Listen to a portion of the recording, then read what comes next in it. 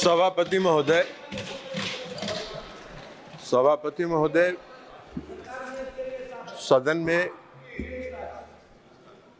आदरणीय प्रधानमंत्री नरेंद्र मोदी जी के तीसरे कार्यकाल का जो पहला बजट है, उस पर चर्चा हो रही है। और यह बजट जो है, आत्मनिर्भर भारत बनाने की दिशा में मोदी जी की सरकार का क्या संकल्प है, उसको दर्शाने वाला बजट। और पिछले तीन दिन से जो चर्चा सदन में चल रही है, ऐसा लग रहा है कि बजट पर भाषण देने के बजाय नरेंद्र मोदी जी की आलोचना पर यह पूरा बजट भाषण चल रहा है। भाई, बजट पर बोलिए। और पूरा विपक्ष का जो भाषण का जो टोन है वो यह दर्शाता है कि जैसे नरेंद्र मोदी जी का चेहरा इनको पसंद नहीं आ रहा हो, ये उससे नफरत कर रहे हैं। लेकिन अब अगर आप नफरत कर रहे हैं, आपको पसंद नहीं आ रहा है तो क्या करिएगा? इस देश की जनता ने उनके चेहरे को पसंद किया और तीसरी बार उनको देश की सत्ता संभालने की जिम्मेवारी दी। साठ वर्ष के बाद, साठ वर्ष के बाद साठ वर्ष के बाद साठ वर्ष के बाद जयप्रकाश जी। मोदी जी की उपलब्धता है मोदी जी की उपलब्धता है कि 60 वर्ष के बाद आज़ादी के बाद तीसरी बार किसी को इस देश की सत्ता संभालने का मौका मिला है। ये उनको बर्दाश्त नहीं हो रहा है। उनके पेट में उनके पेट में दर्द हो रहा है। अब सच्चाई को नहीं पचा रहे हैं। अब इस देश की जो सच्चाई है उसको ये अगर नहीं पचा पा रहे हैं तो हम लोग का क्या दोष है भाई? लेकिन हमारा एक परामर्श है इनको। हमारा एक परामर्श है इनको। सभापति महोदय, कि सच्चाई को सच्चाई को जितना जल्दी इन्होंने भाषण किया, कोई नहीं बोला, फिर क्यों बोल रहे हैं? बैठिए बता देते हैं माननीय मंत्री जी। आपका चरित्र भी बता माननीय मंत्री जी माननीय मंत्री जी एक मिनट एक मिनट। आपका चरित्र भी बता देंगे माननीय आप क्या करते रहे माननीय माननीय मंत्री जी माननीय मंत्री जी आप चेयर से करें। जयप्रकाश जी जयप्रकाश जी आप माननीय जयप्रकाश जी सुन लीजिए। आप जब बोल रहे थे समय भी अधिक दिया गया किसी ने आपको व्यवधान नहीं किया। अगर आप खड़े होंगे नहीं आप परंपरा सीखिए। आप बड़ी सदस्य हैं पर, बैठ जाइए। आप परंपरा सीखिए। आपके किसी स्पीच पे किसी ने व्यवधान नहीं किया।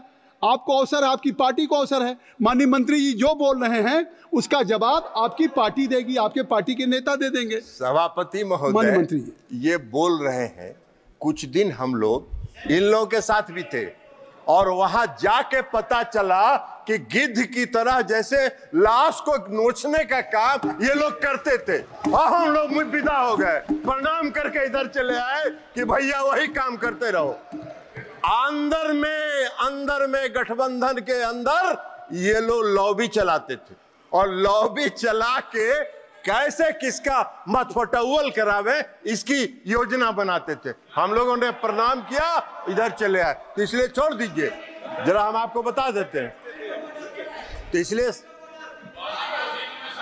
आप इधर आप बोलिए। आप आप चेयर को सभापति महोदय सच्चाई इनको सुनना नहीं है। आप ही का विषय नहीं है। आप जो बोल रहे रहे आप हैं। जो बोल रहे हैं वो रिकॉर्ड पे जा रहा है। किसी का और किसी भी माननीय अन्य सदस्य का बात रिकॉर्ड पे नहीं जा रही केवल आपकी रिकॉर्ड हम इनको बता रहे हैं सभापति महोदय जितना नो नो नो आप कृपया बैठ जाइए आप बैठिए। सौगत राय जी बैठ जाए। नहीं नहीं जब आपको अवसर दूँगा तब आप बोलेंगे। आपको भी no point of order no point of order please माननीय मंत्री सभापति महोदय, इनको हम बता रहे हैं कि जितना जल्दी इस सच्चाई को पचा लीजिएगा, उतना ही आपके मन को शांति मिलेगी, नहीं तो पूरा मन विचलित रहेगा आपका, और पाँचों साल इसी तरह विचलित रहिएगा। निन्यानवे का आंकड़ा बड़ा खराब होता है, सभापति महोदय। लूडो लूडो पता नहीं, गौरव गोगोई जी और बाकी लोगों ने खेला है कि नहीं खेला है? लूडो खेल के निन्यानवे पर पहुँचते हैं और जब सांप काटता है तो ज़ीरो पर पहुँच जाते हैं। यही हाल है। तो इसलिए जरा इनको मन की शांति को जितना जल्दी ये शांत कर ले और देश की सच्चाई को जितना जल्दी ये स्वीकार करेंगे, उतना ही इनके लिए चैन मिलेगा, इनको भी चैन मिलेगा और देश को भी चैन मिलेगा। और इस देश में जो नरेंद्र मोदी जी ने आत्मनिर्भर बनाने का जो काम प्रारंभ किया है, वो आगे बढ़ता रहेगा। उसमें व्यवधान ये नहीं डालने का प्रयास करें।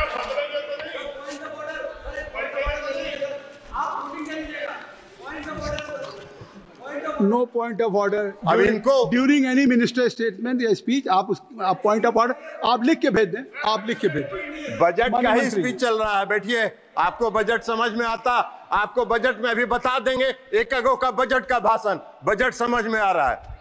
तीसरे कार्यकाल का जो पहला बजट आया अब इनको नहीं दिखाई पड़ रहा है। इनका एक एजेंडा रहता था बेरोजगारी है इस देश में। रोज़गार पर चर्चा नहीं हो रही है। इस पहले बजट में 4.1 करोड़ रुपए ओन करोड़ लोगों के रोज़गार सृजन की चर्चा है। वो इनको दिखाई नहीं पड़ रहा है। वो इनको दिखाई पड़ेगा भी नहीं, क्योंकि मन तो इनका विचलित है, मन इनका अशांत है तो वो कहाँ से दिखाई पड़ेगा इनको? अभी, अब अब एक्चुअली अब वास्तव में हुआ क्या है कि तीसरे कार्यकाल का ये पहला बजट आया। मोदी जी ने पहला बजट मोदी जी की सरकार ने पेश किया और जो पहला गुगली मोदी जी ने फेंका है इस बजट के माध्यम से तो ये बोल्ड आउट हो चुके हैं और उसी बोल्ड आउट की छटपटाहट में ये अपना भावना व्यक्त कर रहे हैं। विधवा विलाप किए जा रहे हैं। अरे विधवा विलाप करने से क्या होगा? सच्चाई यही है कि देश के प्रधानमंत्री नरेंद्र मोदी जी हैं और पूर्ण बहुमत के साथ हैं इस सच्चाई को स्वीकार करिए। और अभी तो शुरुआत हुआ है। अभी तो शुरुआत हुआ तो पहला साल है। अभी पाँच साल देखिए, पाँच साल के बाद मैदान में कहीं नज़र नहीं आइएगा, वही होगा कि निन्यानवे पर सांप काटेगा और ज़ीरो पर पहुंचिएगा, यही होने वाला है। कई लोगों ने, कई पार्टियों ने चर्चा की, कई पार्टियों ने चर्चा की, कहा कि दो राज्यों को खुश करने की बात हुई अरे भाई दो राज्य को सरकार बचाने के लिए, कई बात सरकार बचाने की कौन सी बात ये प्री पोल अलायंस है, और हमारा हो या तेलुगु देशम पार्टी का हो प्री पोल अलायंस है और यह अलायंस फेविकोल से सटा हुआ है। आपके साथ भी रह के आपका चरित्र भी देख चुके हैं। गिद्ध की तरह आप लोग नोचते हैं। सत्ता मिला नहीं कि कैसे सत्ता को घींचते रहे, ये काम करते रहे आप लोग। हम लोगों ने प्रणाम किया और चल दिए। इसलिए आज जेडीयू हो या टीडीपी हो, सत्ता के साथ प्री पोल अलायंस में हम लोग सरकार में है। और प्री पोल अलायंस पाँच साल का पूर्ण बहुमत मिला है। आप क्लीन बोल्ड हो चुके हैं। चिंता मत करिए। सभापति महोदय सभापति महोदय सभापति महोदय, हम हम पर अभिषेक बनर्जी जी का भाषण पढ़ रहे थे।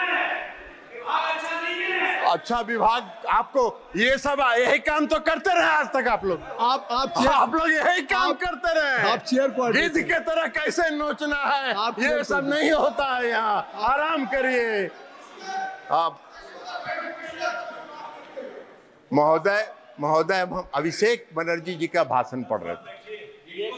अभिषेक बनर्जी जी ने भाषण दिया और कहा कि मोदी जी का 4 जून 2024 को जो पहली सरकार बनी rejected the people of India which was rejected by people of India वाह भाई, आपके आपके ज्ञान का हमको प्रशंसा करना होगा कि पूर्ण बहुमत की सरकार आप कह रहे हैं कि rejected by the plan peoples of India वाह, पूर्ण बहुमत नहीं दिखता है इनको।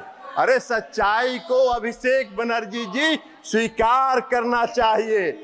इन्होंने कहा, क्या भाषण में वक्त बदल गया है?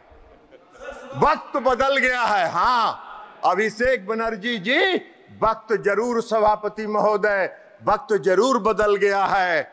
वक्त ज़रूर बदल गया है क्योंकि मोदी जी पूर्ण आत्मविश्वास और दृढ़ संकल्प के साथ तीसरे कार्यकाल में आत्मनिर्भर भारत बना, बनाने की ओर चल चुके हैं। इसलिए वक्त बदल गया है, आपको दिखाई नहीं देता है तो उसमें हम क्या करें? आँख का जाँच कराइए और चश्मा लगाइए, दिखेगा आपको कि इस देश की जनता ने क्या किया। हमको आशा करते थे, हम उम्मीद करते थे कि अभिषेक बनर्जी जी जब भाषण दे रहे थे तो वो कहते कि पश्चिम बंगाल में महिलाओं के चिरहरण का जो वीडियो वायरल हो रहा है, उस पर क्षमा मांगते इस देश से, उस पर इस देश से क्षमा मांगते, वे नहीं मांगे। नहीं मांगेंगे नहीं मांगेंगे, क्योंकि पश्चिम बंगाल में वे जैसे चिरहरण हो रहा है, महिलाओं पर अत्याचार हो रहा है, और जो आम लोगों पर अत्याचार हो रहा है, वो उनको नहीं दिखता है।